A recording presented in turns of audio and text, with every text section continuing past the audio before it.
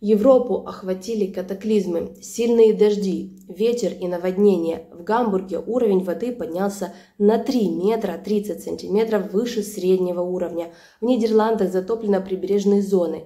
К сожалению, из-за наводнения в Бельгии и Нидерландах погибли уже два человека, сообщает Voice of America.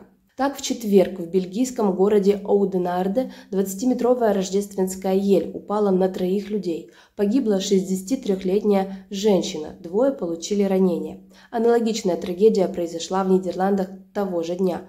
Дерево упало на женщину, она скончалась от полученных травм. В некоторых населенных пунктах Нидерландов, находящихся на берегу Северного моря, затопило улицы вокруг портов, включая город Шевенинген рядом с Гагой. Из-за высокого уровня воды закрылся штормовой барьер Масландкеринг, который находился между городами Хукванг-Холланд и Мааслейс. Как отмечает Voice of America, это означает, что все шесть основных штормовых барьеров, защищающих Нидерланды, были закрыты одновременно. По сообщению Национального управления водных ресурсов и инфраструктуры Нидерландов, это произошло впервые. В конце концов, через некоторое время барьеры были открыты. Наводнение также добралось до Германии. В Гамбурге река Эльба затопила улицы вокруг рыбного рынка. Как сообщает местная власть, штормовой прилив в портовом городе достиг пика утром 22 декабря, поднявшись на 3 метра 30 сантиметров выше среднего уровня.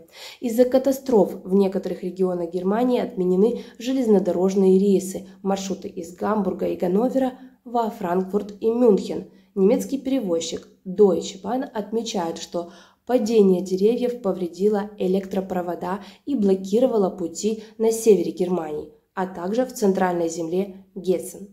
Наводнение нанесло ущерб и Дании. Вот так выглядят затопленные из-за шторма Пия улицы города Кертиминде на острове Фюн под водой оказались также дороги, что буквально парализовало автотранспорт в некоторых частях страны.